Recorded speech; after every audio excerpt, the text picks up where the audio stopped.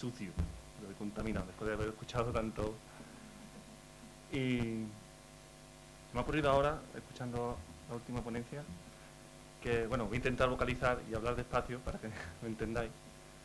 Eh, eh, hace poco salió la noticia de lo de París, que estaba una nube tóxica que estaba allí contaminando. Dijeron que, se pararán, que no salieran los coches impares un día, los pares otro. Y viendo la noticia, me resultó curioso que a una persona que le estaban entrevistando terminó diciendo su comentario de que decía que, que iban a tener que irse al campo a vivir. Y claro, cuando dijo eso pensé yo, bueno, ¿al campo a dónde? ¿Seguro que te quieres ir al campo? Yo voy a empezar por contar un poco mi historia. Mm, yo nací tal día como hoy hace 33 años en Carmona, un pueblo de, la provincia de Sevilla, justo en el centro del Valle de Guadalquivir. Es un pueblo con muchísima historia, tiene más de 7.000 años de historia ininterrumpida, ha pasado muchas culturas, rodeado, me crié rodeado de campos de cultivo, de cereal, de, olivares, de girasoles, de terrenos de regadío. Y me crié en una, en, una explotación ganadera. Soy la, yo pertenezco a la cuarta generación de ganaderos dentro de mi familia. Y mientras estaba en, mientras me crié dentro de esa, de esa régimen ganadero intensivo de producción de leche principalmente, yo pensaba que estaba criándome muy bien en el campo, muy feliz, viendo las avionetas cómo trataban los campos de cultivo, con hectáreas y hectáreas extensivos, y con mi ganado allí bucólicamente. Posteriormente me gustaba tanto la vida que, que llevaba que inicié mis estudios de ingeniero agrónomo. Empecé por la especialidad de zootecnia, que es la de producción animal, que es la que me gustaba, pero mientras estudiaba la carrera tuvimos que mandar por primera vez nuestros animales al matadero, porque era inviable, porque después de la crisis de las vacas locas, aquello era imposible, no había manera de levantar cabeza con aquello. Tuvimos que mandar nuestros animales al matadero y buscando una alternativa familiar, pues buscamos dentro de lo que ya conocíamos, que era otra, otra ganadería, y fuimos con la cabra de leche. Y así estuvimos durante 10 años, pero volvimos a, a tropezar en la misma piedra. Era lo mismo, nos encontramos con los mismos problemas. Y de hecho, me gusta contar que, nosotros, el ganadero de, en intensivo, sobre todo el de productos lácteos, que es el que yo conozco muy bien, parece. Ay, perdón.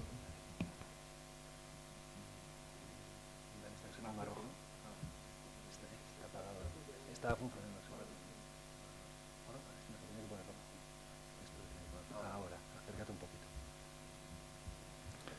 Pues parecía un pistolero del oeste, porque ibas en un bolsillo, llevabas un bote de y en otro un paquete de jeringuillas.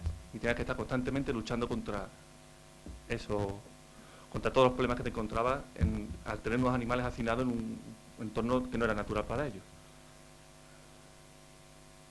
Tras mandar por segunda vez nuestros animales a matadero, porque no podíamos, decidí abandonar esa línea de mi formación y pasé a la y salté a la otra, a otra especialidad dentro de mi materia, que era la, sanidad vegetal o la, producción vegetal.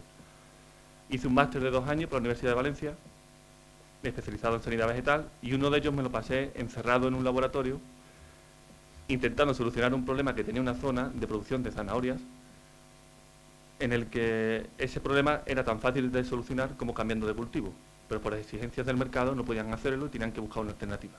Entonces, había que probar pesticidas que controlaran ese, ese, problema que tenían. Y después de un año no se solucionó el problema y yo perdí un año cuestionándolo que, que gracias a ese año creo yo que fue ya el que la, gota que como el vaso. Y después de todo ese año cuestionando lo que estaba haciendo, terminé el máster y empecé a buscar pues, mi sitio en el mundo laboral no lo encontraba porque todo era entraba entrar a formar parte de todas las ofertas de trabajo que me, que me surgían, era formar parte de ese modelo en el que ya no creía. Yo no creía en ese modelo intensivo y además también se empeñaban ese mercado laboral en separarme y en que eligiera o si era de formación ganadera o de formación agrícola, pero en mi cabeza no podían separarlas, iban de la mano, iban juntos. Entonces seguí buscando mi sitio y en este, durante este periodo una hermana mía se queda embarazada, entonces, claro, yo no podía permitir que, que mi sobrino creciera con el, comiendo esos pesticidas que a mí me habían enseñado cómo aplicar, qué controles siguen, cómo solventar los, los, cómo saltarte los, los, controles. En el tema de ganadería pasaba lo mismo. Y quería pues que se, que se tuviera una alimentación más sana que la que habíamos tenido nosotros. Entonces empecé a recuperar los terrenos que teníamos donde habíamos tenido el ganado, pues a hacer una, un pequeño huerto en ecológico y esta foto es curiosa, la he puesto porque es de una frutería en Sevilla. He tapado el nombre, pero aún todavía intentan vender fruta con un camión o un tractor haciendo un tratamiento químico en el campo. Se ve que no tiene, no, le ves, cree que así su fruta es más limpia, más bonita y que lo puede vender mejor. Yo creo que de verdad es así para los consumidores suyos. Entonces empecé a intentar, hice es una una serie de... Empecé a pensar en cómo podía cultivar sin pesticidas. Empecé a ver cómo se hacía y para buscar una alternativa saludable. El cultivar sin pesticidas, lo primero que me preguntaba era dónde, cuándo se empezó a cultivar sin pesticidas. ¿Qué, agricultura es? ¿La de toda la vida? ¿La de toda la vida es la de nuestros abuelos, nuestros bisabuelos? ¿La de la que hacían en la Edad Media? ¿O la que hacían los romanos, griegos, tartesos? ¿O la, que, o la del Neolítico? cuál era.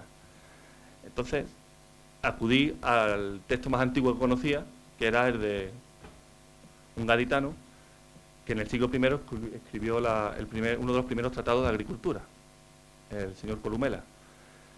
Cuando leía Columela me quedé asombrado, porque contaba problemas que yo pensaba que eran actuales del siglo XX. Y cuando lo lees te quedas, dice, pero ¿no? él ya criticaba al modelo de producción que tenía que tenía Roma, de esquilmar la tierra, de no cultivarla, y criticaba a todos aquellos que atribuían las plagas y las enfermedades a castigos divinos. Y le decía que no, que no había plagas, enfermedades por castigo divino, que todo era consecuencia de, un mal manejo. Y hacía recomendaciones de cómo había que manejar la tierra y el cultivo. todo en este libro de hecho, son los 12 libros de agricultura, trata 12 temas distintos y no separa en ningún momento la agricultura de la ganadería. Eso es fruto del siglo XX, hasta antes nunca se separaron la agricultura de la ganadería. Eran, eran, formaban parte de lo mismo. De hecho, los, los, primeros ingenieros agrónomos que se formaron durante el siglo XX salían con la actitud mixta, hacían tanto ganadería como agricultura, pero era lo mismo, no lo separaban. Eso ya fue después con la especialización y separarse para que cada uno formara parte de, una parte del engranaje ese que estaba montado de la industria agroquímica y todo esto. Luego seguí viendo que, mirando la historia, que los, que los romanos también tuvieron... Que durante este tiempo...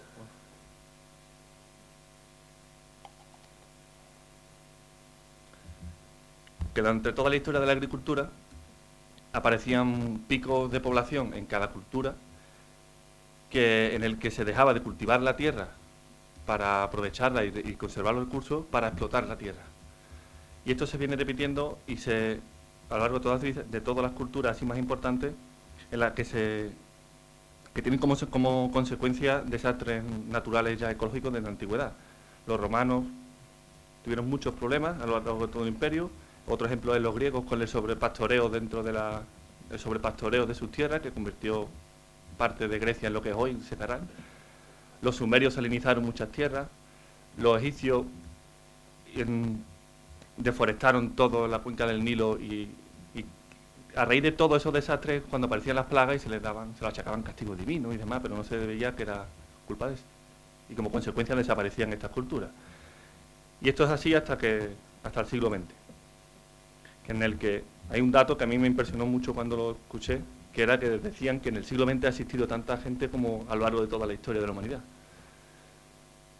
La verdad que, no sé si exagera un poco, pero vamos, mucho se tiene que acercar. En el siglo XX hay dos etapas importantes desde el punto de vista de la agricultura, de la historia de la agricultura moderna. Hay una primera etapa en la que aparecen la, aparece la fuente de energía esta aparentemente inagotable y en el que se empiezan a roturar tierras y a cultivar tierras que hasta entonces no eran viables porque eran pesadas o no se pero con la maquinaria sí se pueden roturar. Y hay una superproducción de alimentos, se consumen, se producen muchísimos alimentos y ayuda a este crecimiento poblacional. Y luego hay otra, que ya se ha hablado hoy bastante, que es la de la Revolución Verde a mediados del siglo XX, en el que la, aparece la agricultura como negocio. Ya no, se ya no, no basta con producir mucho, sino hay que producir mucho en poco espacio y con muchos insumos. Que sea que la agricultura no solo para alimentar, sino también como un negocio y que para alimentar a la industria agroquímica.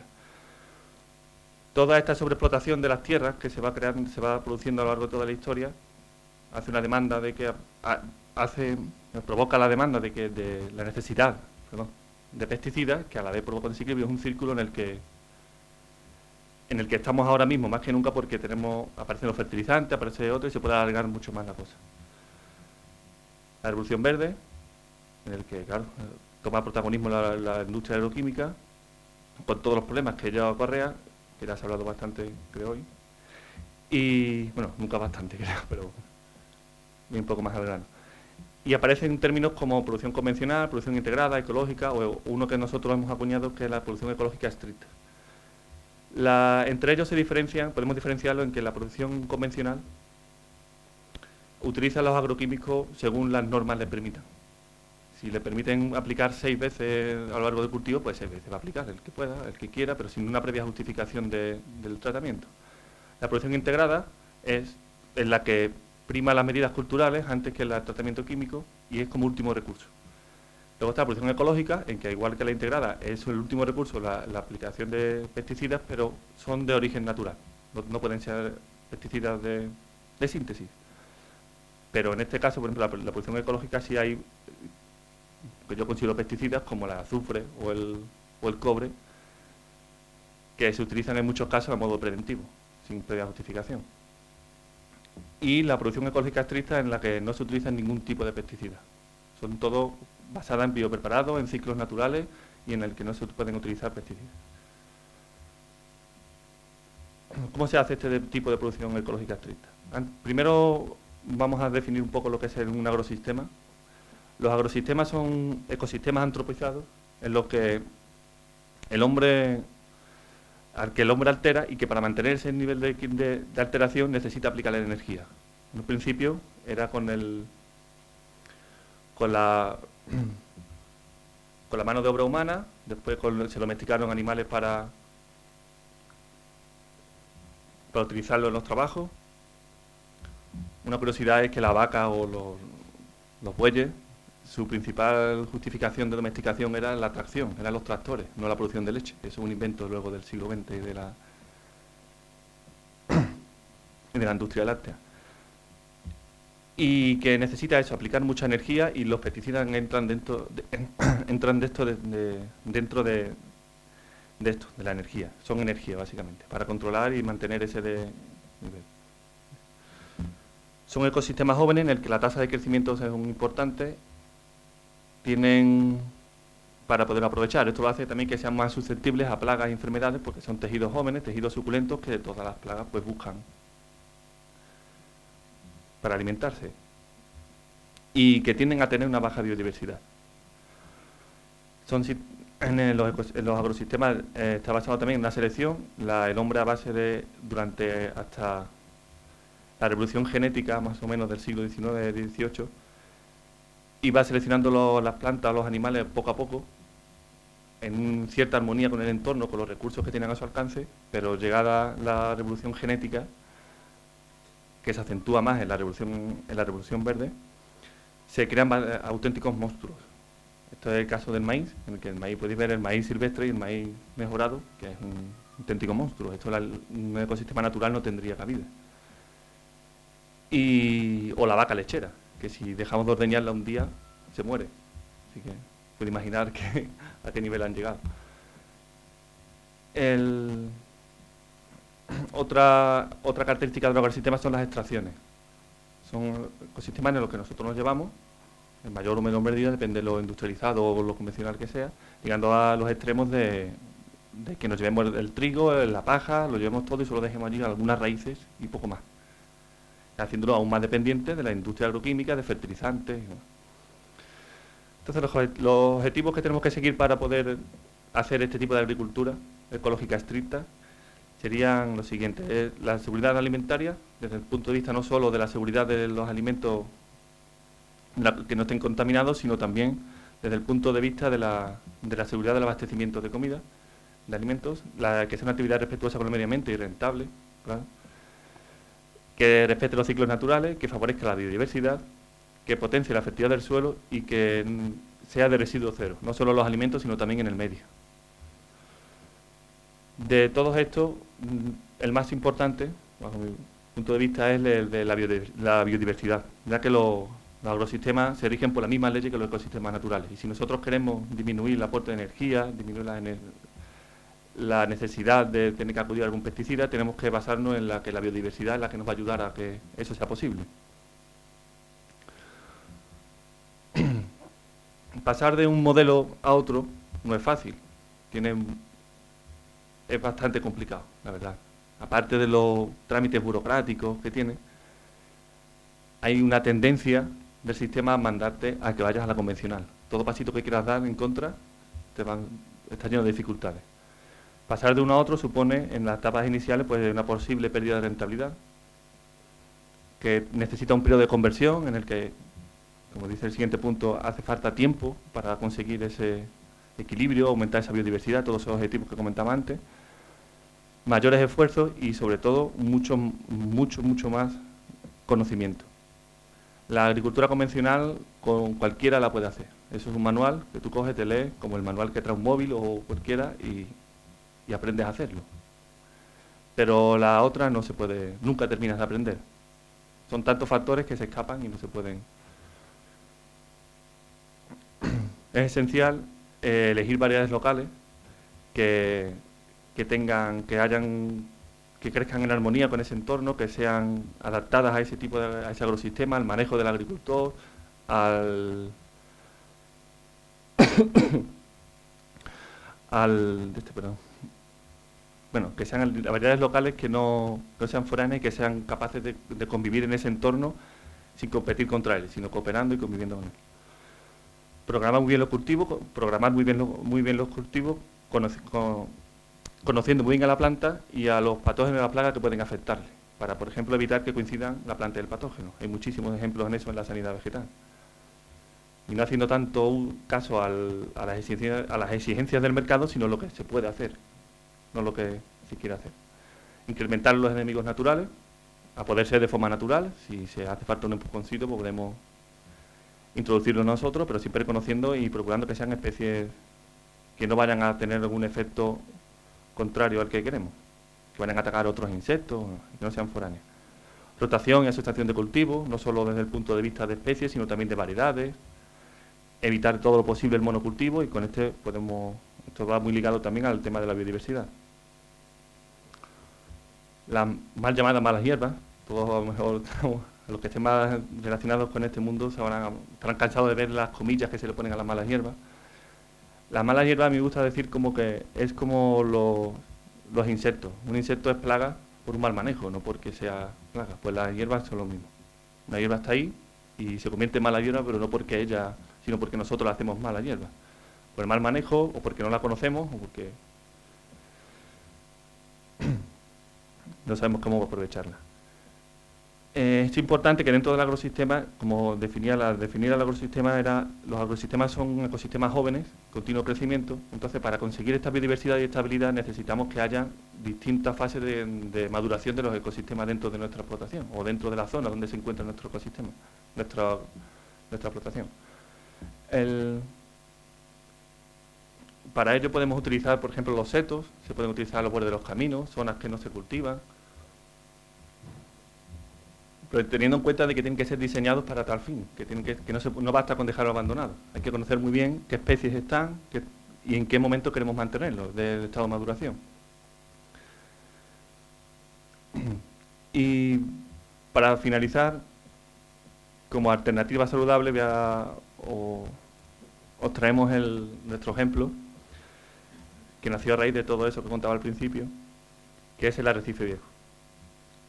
Eh, este es un centro de, agroecología integral, llevamos año y medio, porque como decía que estas cosas necesitan tiempo, no se puede correr, tiene que ir poco a poco, y está basado en el equilibrio, en la biodiversidad, en el kilómetro cero, no solo de los insumos que utilizamos, sino también de los productos. No tiene sentido hacer esto y luego mandar nuestra producción a Burquerque. En residuo cero, como decía también, no solo de los alimentos, sino también de la producción, sino también dentro del sino dentro del agrosistema y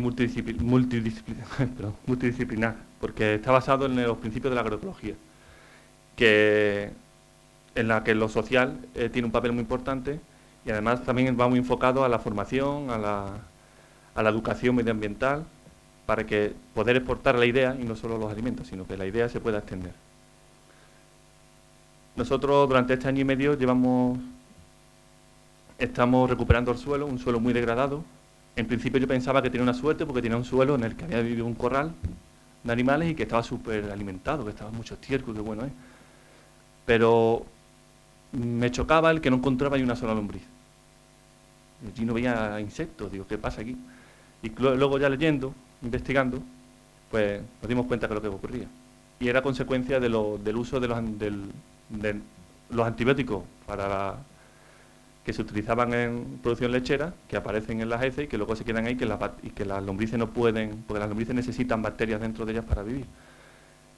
Y el resto de insectos por el uso de los de los desparasitantes que también se quedan en ese y que tardan mucho en degradarse. Entonces empezamos ya a hacer un plan de recuperación de, nuestro suelo. Empezamos a utilizar biopreparados. En las zonas donde mejor estaba, pues intentamos seleccionar los microorganismos que se encontraban ahí para reproducirlos y propagarlos por el resto de la, finca. Y poco a poco vamos, vamos consiguiendo ya que, aquello vaya tomando un cierto equilibrio y aumentando la biodiversidad. Está basada en el control biológico, tanto del topillo, que es cernícalo, que hemos puesto nidos para que no lo controlen, o el, el hongo que desplaza el hongo patógeno en el suelo colonizándolo porque nosotros favorecemos que, este, que el hongo beneficioso desplaza el patógeno, o virus con la selección de plantas que sean tolerantes o resistentes a esos virus que lo que provocan son malformaciones o falta de crecimiento, porque a nosotros no van a provocar nada. Y como conclusiones, deciros que ante nuevos problemas pues nace una nueva agricultura. No es la agricultura toda la vida, ni nunca antes se ha conocido. Es una nueva agricultura, una nueva agricultura que no puede contar con los pesticidas, porque ya está bien, no podemos hacerlo. ¿Y puede esta agricultura sin pesticidas alimentar a la humanidad? A la humanidad sí puede, al modelo actual no puede alimentar. Gracias.